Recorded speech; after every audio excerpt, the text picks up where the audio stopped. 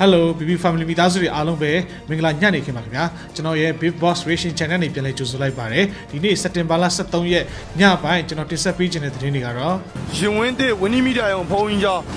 အဲ့ဒီရှေ့တွေမှာရေကြော်နေပါပြီလို့နော်အားလုံးသိတဲ့အတိုင်းမိုးတိမိုးပြီးဆိုတာအဲ့ဒီမှာလူကြီး1600လောက်ရှိတဲ့နေရာမှာ900လောက်ပဲကျန်ပြီးလူ900လောက်ကကြောက်သွားတယ်လက်ရှိရခိုင်ပြည်နယ်အတွက်ကတော့ကနအူပိုင်းမှာ ULA ကဥဆောင်ပါတီအဖြစ်ခေါင်းဆောင်တဲ့တပြည်တော်စနစ်အနေနဲ့ရှိမှာဖြစ်ပြီး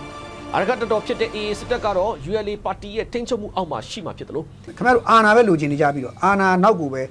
ငန်းငန်းတက်လိုက်နေပြီးတော့ပြည်သူလူထုအခက်အခဲဖြစ်နေတဲ့အချိန်နိုင်ငံတော်နဲ့ပြည်သူလူထုအခက်အခဲရေဆိုင်နေတဲ့အချိန်ရေဘေးတင်ဒုက္ခဘေးတင်နေတဲ့အချိန်မှာခင်ဗျားတို့ဗဇက်ပေါက်ကြီးတွေပိတ်ထားခဲ့တာဟာခင်ဗျားတို့အဲ့ဒါကိုမှမရှက်ဘူးဆိုရင်ခင်ဗျားတို့မှာအရှက်တရားလည်းမရှိတော့ဘူးကိုချင်းစာလည်းမရှိဘူးတဲ့ပြောရရင်တော့ဟိုစကလုံးတုံးမျိုးစောက်ရှက်မရှိတဲ့လူတွေဖြစ်ကုန်ကြပြီဆိုတော့မမိနဲ့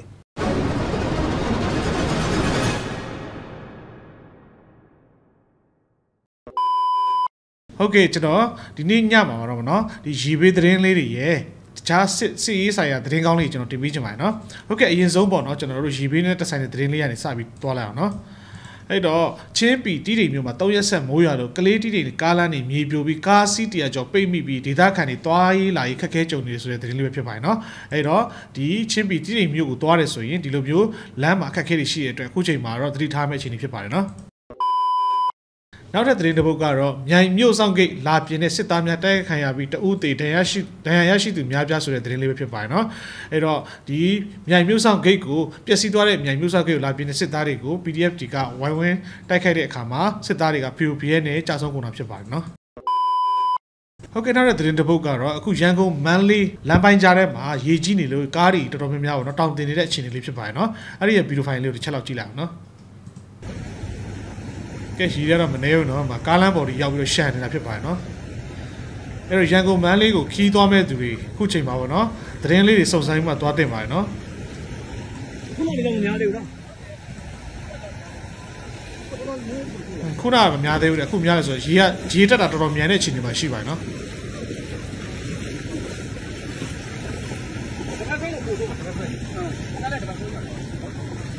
ဖောင်းပြီးတော့ ဟိုဒါအဖိုးပဲရွာတွေကအဲကွားတွေပဲဟို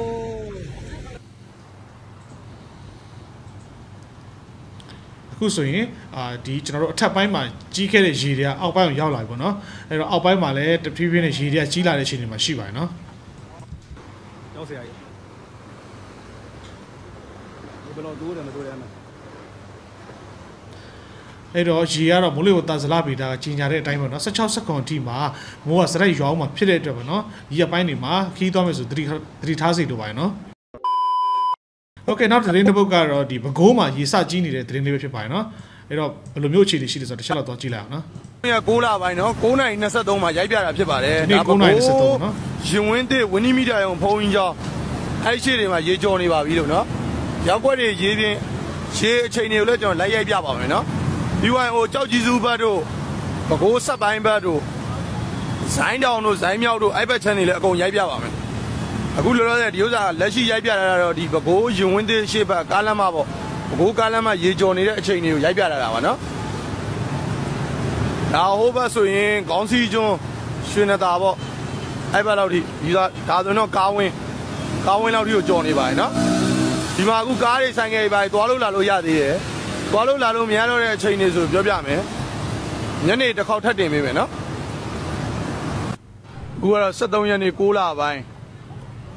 10နာရီ14မိနစ်မှာရိုက်ပေးတာဖြစ်ပါတယ်ဒါကျွန်းသားရနေမီ96ခွန်8အဲ့ရောက်ွက်တွေမှာတော့ရေတော်များနေပါပြီ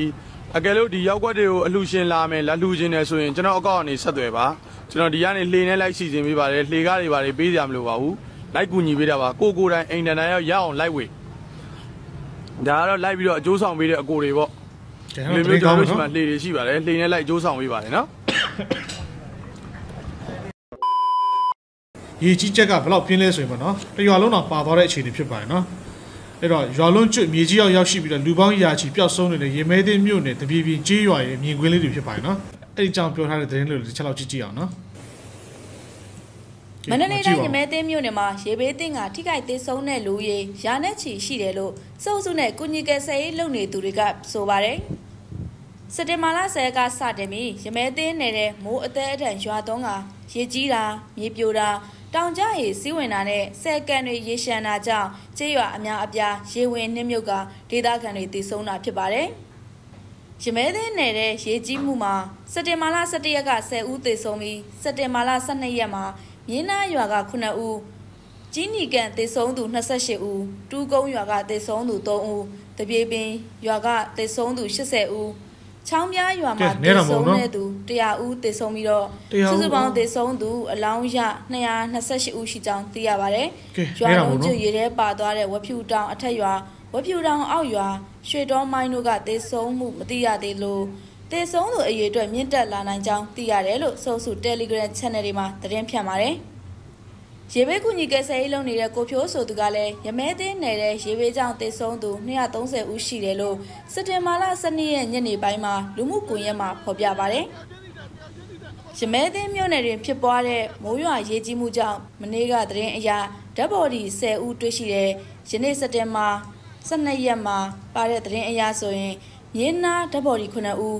ကြီးနီကန်အတွင်းဓာတ်ဘော်ဒီတွေ့ရှိ28ဦးတူကုန်းအနီးဓာတ်ဘော်ဒီ3ဦးတပြေပင်ကဓာတ်ဘော်ဒီ80ကျော်ချောင်းပြားဓာတ်ဘော်ဒီ100ခန့်ရှိပြီးစုစုပေါင်း230ခန့်ရှိပြီလို့ဖော်ပြပါဗျ။ငဲတာမဟုတ်နော်အလောင်းတွေတွေးရှိတာဟာအဲ့ဒီကျေးရွာကဒေသခံတွေတေဆုံးတာလို့ဆိုလိုတာမဟုတ်ပဲရေစီးနဲ့မျောပါလာသူတွေလည်းဖြစ်နိုင်ပြီးတေဆုံးသူအရေးအတွက်ဆက်လက်တိုးမြင့်ဖွယ်ရှိတယ်လို့ကိုဖြိုးဆိုသူကရေးပါတယ်။အဲ့ဒီ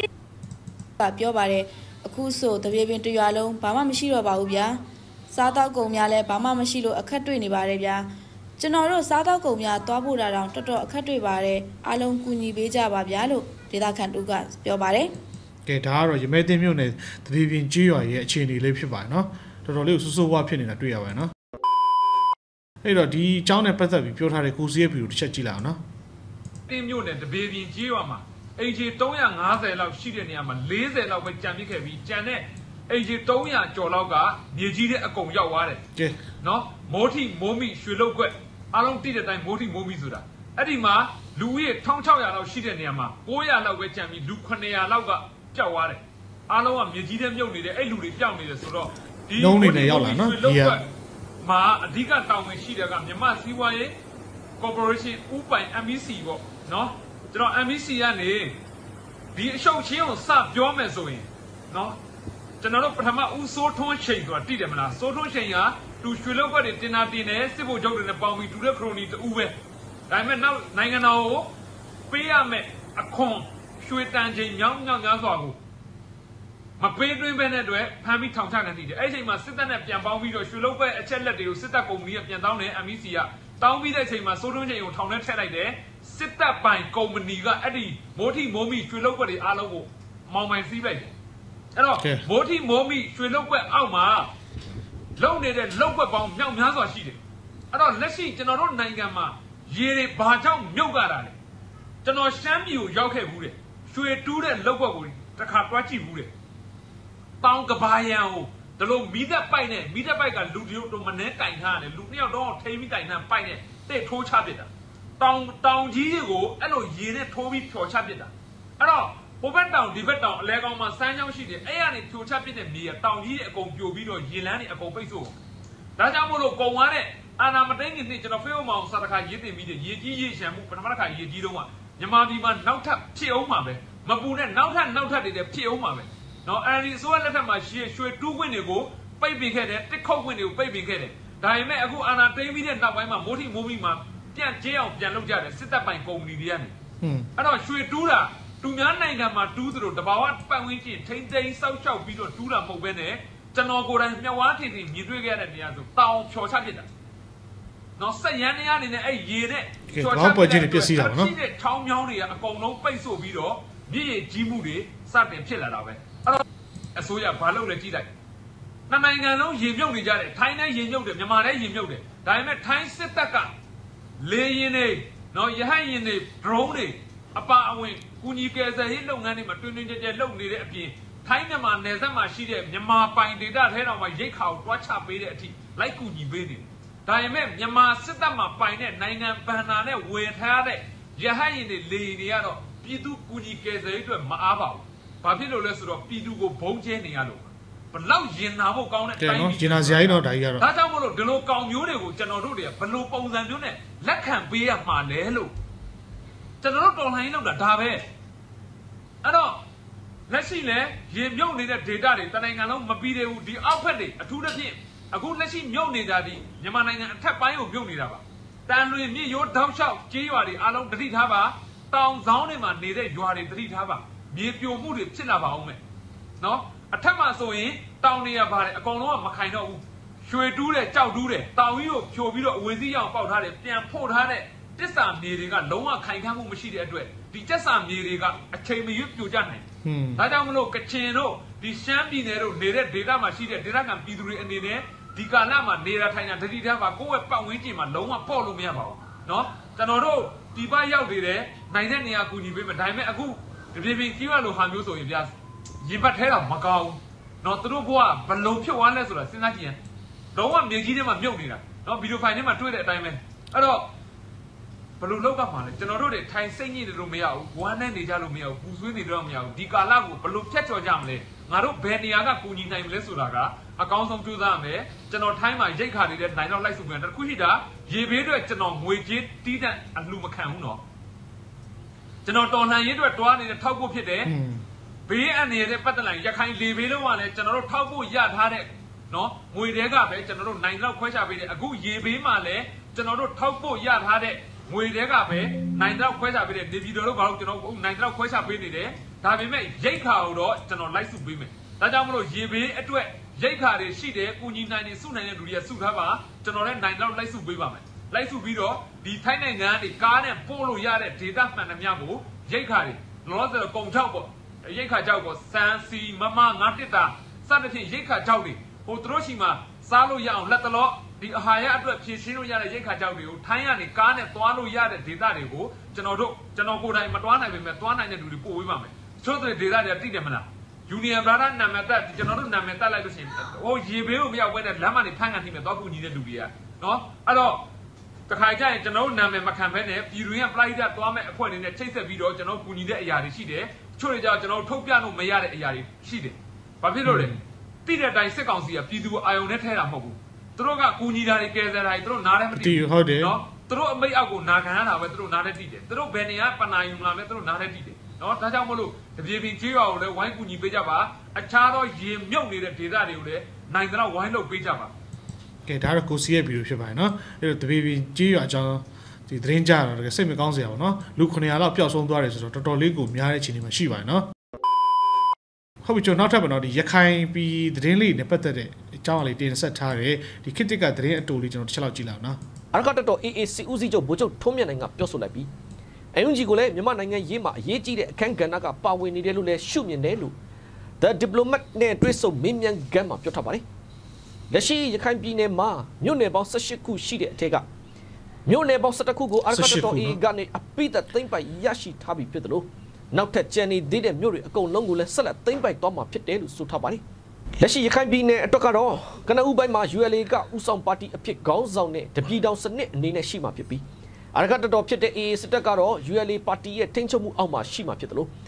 နောက်ပိုင်းကျမှသာအရေးချင်းတဲ့လုပ်ငန်းဆောင်ရွက်ချက်တွေပေါ်မူတည်ပြီးအုပ်ချုပ်ရေးအာဏာကိုအစိုးရအလွှာအသီးသီးစီခွဲဝေပေးသွားမှာဖြစ်တယ်လို့အရကတတော် AA စစ်ဦးစီးချုပ်ဗိုလ်ချုပ်ထွန်းမြတ်နိုင်ကပြောထားပါတယ်။ဒါ့အပြင်ရခိုင်ပြည်သူတွေဟာအလွန်ရဲရင်ပြီးခံနိုင်ရရှိကြတဲ့သူတွေဖြစ်တယ်လို့ရခိုင်ပြည်သူတွေရဲ့ထောက်ခံအားပေးမှုမရှိပဲ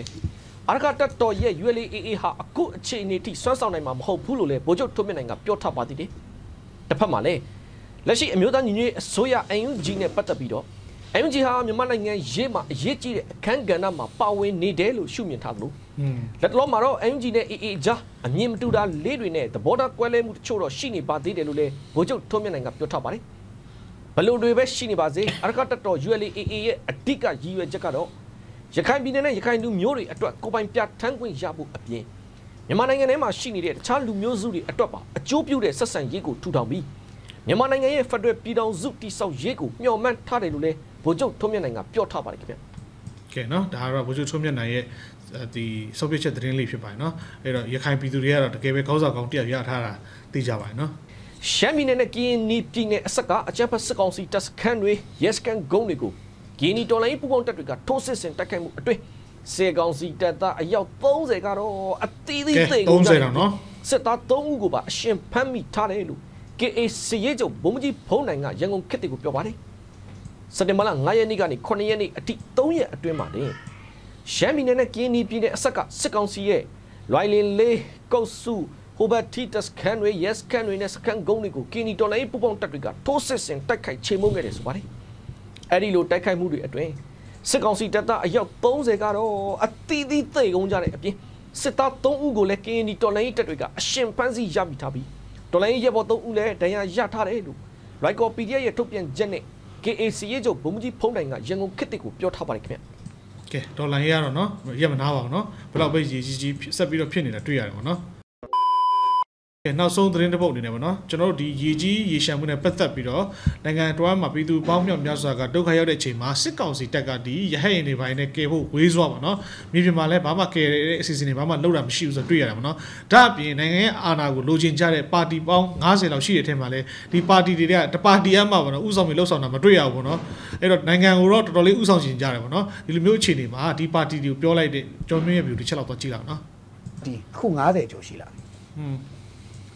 ဘယ်ပါတီကများဒီရေဘေးတဲ့ပြည်သူတွေအတွက်စော်ဩတာလှုံ့ဆော်တာတစ်ခုခုစပြီးတော့လှုပ်ပြတာ ကဲဒါသူတို့ပဲပြောတာနော် ကျွန်တော်ဒီနေ့မှာပြည်ခိုင်မျိုးပါတီရဲ့ဥခင်ကြီးတို့ဘာလို့သွားလှုပ်ရှားနေတာတွေ့တယ်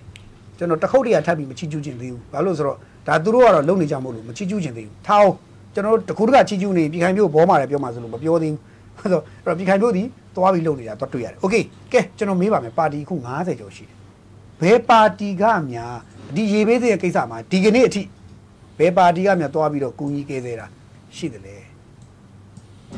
နိုင်ငံရေးပါတီတွေဟာနိုင်ငံတော်နဲ့ပြည်သူလူထုအကျိုးပြုဖို့ဖွဲ့စည်းထားကြတာမဟုတ်ဘူးလားခင်ဗျားတို့ပါတီရဲ့မူလကြောရိုးတည်ရနိုင်ငံတော်နဲ့ပြည်သူလူထုအကျိုးပြုဖို့မဟုတ်ဘူးလားအဲ့လိုမဟုတ်ဘဲခင်ဗျားတို့ပြောနေပြောချင်းစားရေးပါတီဖွဲ့ထားကြတာလားအခုနိုင်ငံတော်နဲ့ပြည်သူလူထုဒုက္ခရောက်နေတဲ့အချိန်မှာခင်ဗျားတို့ကဗဇက်ကြီးတွေပိတ်နေတယ်အသာလေးနေတယ်တာသလိုနေတယ်ဆိုတာကသူကပါတီဝင်ပြောနေတာတကယ်ဆိုသူ့အဖေကိုလည်းပြောထည့်ပြောမှာတကယ်တော့လေ ခင်ဗျားတို့တရားသလားမဲရထည့်ကနေကြတော့မဲလို့ခြင်းတယ်ပြည်သူလူထုဒုက္ခရောက်တယ်နိုင်ငံတော်ခက်ခဲဖြစ်နေတဲ့အချိန်ကြတော့ခင်ဗျားတို့ဗဇက်ပေါက်တွေအကုန်ပိတ်နေကြတယ်ခင်ဗျားတို့လှုပ်ရှားမှုအကုန်လုံးပိတ်နေကြတယ်ဆိုတော့ခင်ဗျားတို့တရားသလားခင်ဗျားတို့ရိုးရိုးလေးပဲပြန်စဉ်းစားတော့ညကြရင်ခေါင်းအောင်တေချာခေါင်းပြောင်းအိတ်အိတ်ပြီးတော့စဉ်းစားတေချာခေါင်းပြောင်းအိတ်စဉ်းစားငါတို့မဲကြတော့လိုချင်တယ်ငါတို့ပြည်သူလူထုငါတို့ကယ်ဖို့ကူညီဖို့ကြတော့ငါတို့ဘာမှမလုပ်မိပါလားဆိုတော့အတိတရားလေးခင်ဗျားတို့ခေါင်းထဲမှာနည်းနည်းဝင်သွားရင်ကျွန်တော်ကျင်းတတ်တယ်ခင်ဗျားတို့မှာအတိတရားမရှိဘူးကိုချင်းစာတရားမရှိဘူး ပြည်သူလူထုမှာစာနာထောက်ထားမှုမတွေ့ရဘူးအာနာကသာငန်းငန်းတက်လိုချင်တာနေရာကသာငန်းငန်းတက်လိုချင်တာကုညီကယ်သေးဖို့ကြတော့ခင်ဗျားတို့အကုန်လုံးကနှုတ်ဆိတ်နေတယ်ပါတီကူ90ကျော်ရှိတယ်နော်ဒီလိုအချိန်မျိုးမှာပြည်သူလူထုကိုမကယ်ခင်ဗျားတို့ဘယ်အချိန်မှာပြည်သူလူထုကိုအလုပ်ကြီးပြမှာလဲပြောပါဦးနော်သူအဘောက်ကိုပါဆွဲထည့်လိုက်တယ်ဆိုတော့တော်တော်ပြည့်စုံပြီနော်အဘပဲကြံခဲ့တာအာနာရမှာအလုပ်ကြီးပြလို့ရတယ်ဆိုရင်တော့ခင်ဗျားတို့တိတက်တလုံးခင်ဗျားတို့အဲ့အာနာထိုင်ကုန်မှာစက်ခွက်လူကိုပဲခင်ဗျားတို့စဉ်းစားနေသူရတော့ခင်ဗျားတို့ကျွန်တော်တို့လည်းလေးစားတဲ့အကြောင်းမရှိဘူး ခင်ဗျားတို့ကစက်ခွက်လူကိုပဲစဉ်းစားနေတယ်ကိုယ့်ရဲ့ရှိရရှိတဲ့ကိုယ့်မှာရှိတဲ့မေတ္တာတရားတွေစွန့်ကြဲဖို့ရတော့ခင်ဗျားတို့မပြတတ်နိုင်ဘူးဆိုရဲခင်ဗျားတို့အဲ့ကလေးကခင်ဗျားတို့ကျွန်တော်တို့လေးစားလို့ရပါဦးမလားဒါကြောင့်ကျွန်တော်ရိုးရိုးလေးပဲခင်ဗျားတို့ကိုပဲပြီးပါမယ်ခင်ဗျားတို့အာနာပဲလိုချင်နေကြပြီးတော့အာနာနောက်ကိုပဲငန်းငန်းတက်လိုက်နေပြီးတော့ပြည်သူလူထုအခက်အခဲဖြစ်နေတဲ့အချိန်နိုင်ငံတော်နဲ့ပြည်သူလူထုအခက်အခဲရေဆိုင်နေတဲ့အချိန်ရေဘေးတင်ဒုက္ခဘေးတင်နေတဲ့အချိန်မှာခင်ဗျားတို့ဗဇက်ပေါက်ကြီးတွေပိတ်ထားခဲ့တာဟာခင်ဗျားတို့အဲ့ဒါကိုမှမရှက်ဘူးဆိုရင်ခင်ဗျားတို့မှာအရှက်တရားလည်းမရှိတော့ဘူးကိုချင်းစာလည်းမရှိဘူး တဲ့ပြောရရင်တော့ဟိုစကလုံးတုံးမျိုးစောက်ရှက်မရှိတဲ့လူဖြစ်ကုန်ကြပြီဆိုတော့မမိနဲ့နည်းနည်းလေးတော့ခင်ဗျားတို့လည်းလောက်ကြအောင်နော်ခင်ဗျားတို့လည်းနည်းနည်းလောက်ကြအောင်အကြာရာကိုခင်ဗျားတက်မတော်ကိုခိုးစည်းမနေနဲ့အကြာတော့ခင်ဗျားတက်မတော်ပဲခိုးစည်းနေတယ်ပြန်ကြည့်လိုက်တစ်ခုဖြစ်လာရင်တက်မတော်ထိတ်ဆုံးအထွက်တယ်ပြန်ကြည့်တစ်ခုဖြစ်လာရင်ဟိုမိသားတပ်ဖွဲ့ထိတ်ဆုံးအထွက်တယ်ပြန်ကြည့်တစ်ခုဖြစ်လာရင် pride တပ်ဖွဲ့ထိတ်ဆုံးအထွက်တယ်ခင်ဗျားတို့နိုင်ငံရေးပါတီထိတ်ဆုံးအထွက်တာဘယ်ဟာရှိလို့ဘယ်တစ်ခုလောက်ရှိလဲပြချီနော်အခုဥက္ကဋ္ဌကြီးတို့အုပ်စုတက်ကုန်းနာပတ်လဲတော့ရှောက်သွားပြီးကြည်တယ်ဟိုဘက်ကသွားလို့ရတော့သွားကြည့်တာတွေ့တယ်နော်အဲ့ဒါတွေ့ဒါတော့သူတို့ချဲချဲတော့တေချာမထုတ်သေးဘူး ဆိုတော့ကျွန်တော်တို့မှတ်တမ်းတွေဓာတ်ပုံတွေဗီဒီယိုတွေကြည့်လိုက်တော့မှအော်သူတို့သွားပါလားဒါတော့ကျွန်တော်မြင်တယ်ဒါပဲအော်သူတို့သွားကြည့်သားပဲမစိုးဘူးပေါ့ဒါပေမဲ့အဲ့ဒါကိုကျွန်တော်အပြည့်အဝထောက်ခံနေသေးတော့မဟုတ်သေးဘူးဘာလို့လဲဆိုတော့ဓာတ်ထက်ပိုပြီးလုပ်ဖို့လိုသေးတယ်ဓာတ်ထက်ပိုပြီးအများကြီးလုပ်ဖို့လိုနေလို့ပြောတာဆိုတော့ထိတ်ဆုံးကနေပြီးတော့ရဲဝံ तू ကဥဆောင်ချချအကုန်လုံးကျန်တဲ့ပါတီလည်းအကုန်လုံးချအုံနေချင်းနဲ့ဝိုင်းလို့ရင်ကျွန်တော်တို့လုပ်လို့မရဘူးလားတချို့ကပြောမယ်ဟာဒါနိုင်ငံတော်အလုပ်ပဲဆိုခမရတို့ကရောဘာလုပ်ကြမှာလဲနိုင်ငံတော်ဟာအခက်အခဲတွေရင်ဆိုင်နေရတယ် နိုင်ငံတော်ကစစ်ပွဲတွေနဲ့ရင်ဆိုင်နေရတယ်နိုင်ငံတော်ကအကြက်တွေနဲ့ရင်ဆိုင်နေရတယ်ကဲဒါကတော့ကျွန်တော်ဗီဒီယိုဖြစ်ပါတယ်နော်အဲ့တော့ဥခရင်ဘောနဲ့မဲအွန်လိုင်းဘောကိုတော့တစ်ဖက်သက်မှားသွားပါတော့ဒါပေမဲ့သူပြောတဲ့အချက်ထဲမှာလည်းမှန်တော့မှန်ပါတယ်ဒီပါတီတွေကလုံးဝပေါ့နော်ထွက်မလာတာတွေ့ရတယ်ပေါ့နော်အဲ့ဒါနိုင်ငံတော်အာဏာကိုလိုချင်တဲ့ပါတီတွေပေါ့နော်မဲတွေအများဆုံးရရင်နိုင်ငံကိုဥဆောင်မယ်ဆိုတဲ့ပါတီတွေပဲဖြစ်ပါတယ်နော် အဲ့တော့ဘာပဲပြောပြောသူဘောမလာလာလဲတော်တော်လေးကိုလွန်ပါတယ်နော်သူ့အဘကိုပြောရမှာဖြစ်ပါတယ်အဲ့တော့သူ့အဘမှာရှိတဲ့ရဟန်နေဒီချိန်မှာမှမသုံးရင်ဘယ်နဲ့ဘယ်နေရာသွားသုံးမလဲနော်အခုချိန်မှာရဟန်အိမ်ပဲရောက်လို့ရောက်ပြီးတော့ကယ်လို့ရမယ့်နေရာတွေရှိရနော်လီလီတောလို့မရတဲ့နေရာတွေရှိဒါမျိုးတွေမှာရဟန်အိမ်ပဲသုံးမှကယ်ရမယ့်အခြေအနေဖြစ်ပါတယ်ဒါပေမဲ့လည်းတုတ်တုံမြမလုပ်ပြီးတော့အခုချိန်ထိတော့တိတ်တိတ်ဆိတ်ဆိတ်နဲ့နှုတ်ဆိတ်နေတဲ့ဒီမင်းအောင်လိုင်ရဲ့စစ်တပ်ကြီးကတော့ဗောနော်သူတို့ရဲ့ဒီအဆက်တရားမှဲ့တဲ့ပြည်သူကိုလုံးဝဗောနော်ဖိနှိပ်တဲ့စိတ်တကြီးတရားတစ်ခုချိန်မှာအရင်ဘူးဝင်းပေါ်လာဖြစ်ပါတယ်နော် ဟုတ်ကဲ့ဒီညသတင်းရတယ်လောက်ပဲဖြစ်ပါတယ်เนาะအစားဆုံးကြည့်ပေးသူရောက်စီတိုင်းတူပဲကျေးဇူးတင်ပါတယ်ခင်ဗျာအားလုံးပဲစိတ်ချမ်းသာခြင်းကိုယ်ကြီးကျန်းမာခြင်းနဲ့ပြည့်စုံပြီးတော့မိစ္ဆာမင်းအောင်လိုင်ရဲ့ကပ်ဘေးဒီရေကပ်ဘေးတွေကနေကင်းလို့ကြပါစေလို့ဆုတောင်းပေးလိုက်ပါတယ်ခင်ဗျာ